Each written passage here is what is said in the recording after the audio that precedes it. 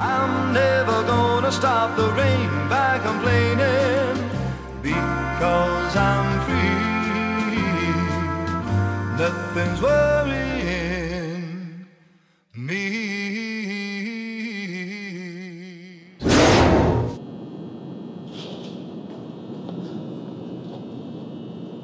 Hello, my beautiful boy. Mom, Oh my goodness.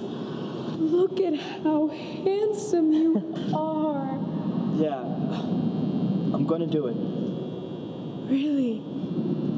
I'm going to ask Linda to marry me. I'm so proud of you.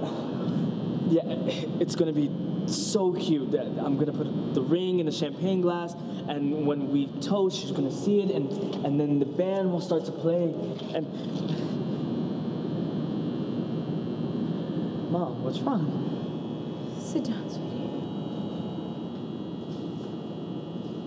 When I died, you were given the ability to see me, to help you deal with the grief. Yeah. Back then, you were a kid who needed guidance in his life, especially since you had no one left. I'm not following. Marriage is too much of a responsibility for a kid. So when you ask Linda to marry you, you will lose the ability to see me because you won't need me anymore. Oh, uh, okay, then I'll just ask Linda to marry me later. But maybe I'm jumping the gun. What if Linda's not the one? Quinn, you know she's the one. Go, live your life, start a family, be a father. No, no, I, I, I'll wait. What if I'm really not ready? I'll, no, I'll wait. But at what cost?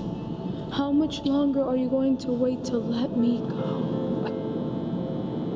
I can't do this without you. Yes, you can. How can you take on the responsibility of marriage if you're still a kid? I can't lose you, Mom. Not again. Quentin, I am in awe of the astonishing man you've become. And your father would be just as proud. But if he knew that visiting me would mean losing the love of your life, he would never want that. Can I just have a little more time?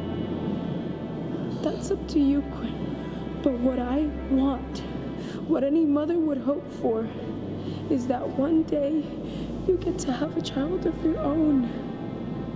And then you know how much I truly love you, my beautiful boy.